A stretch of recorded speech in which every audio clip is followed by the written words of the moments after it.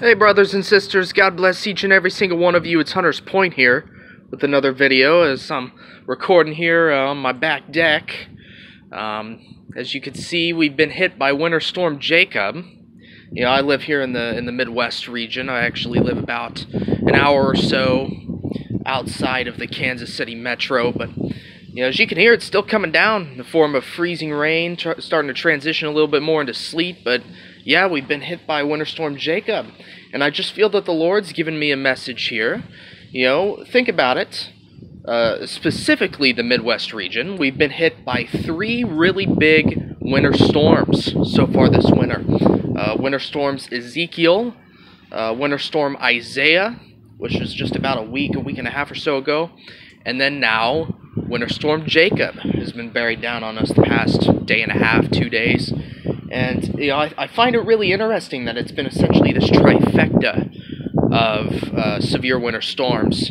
This one, it's tended to be a little bit more on the side of like um, freezing rain, sleet, um, light snow, whereas Isaiah and Ezekiel were both more uh, snow events. But just find it interesting that, um, and I apologize for the shaky camera. It is a bit cold outside, but you know, it, it's funny how God will use like these, you know, correlations, right? There's been three of these winter storms that have hit us in the Midwest, right?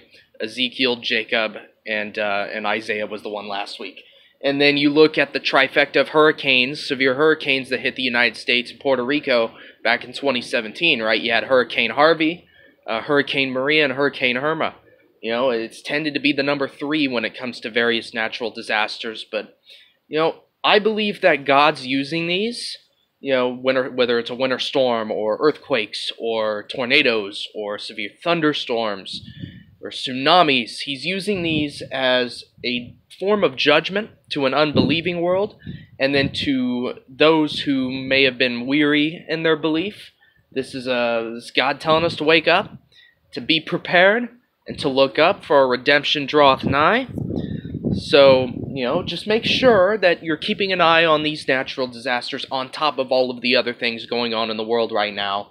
You know, uh, that that of course relates to Bible prophecy. But yeah, I just wanted to give you a little bit of what's going on here. Winter Storm Jacob is still kind of bearing down. Um, hopefully, you could see some of this ice here.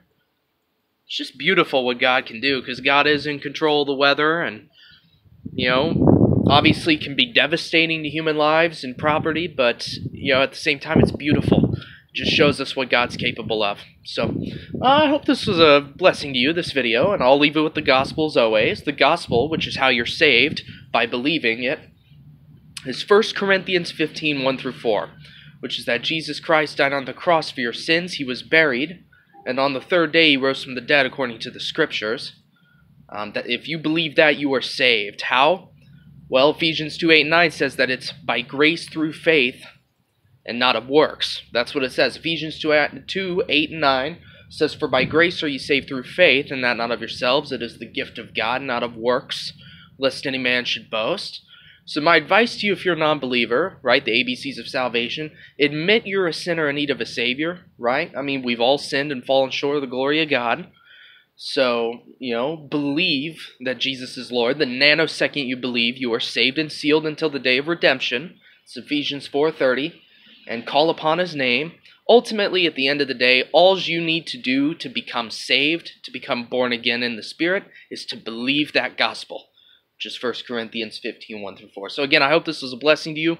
I'll see you all in the next video, should the Lord tarry. Otherwise, God bless.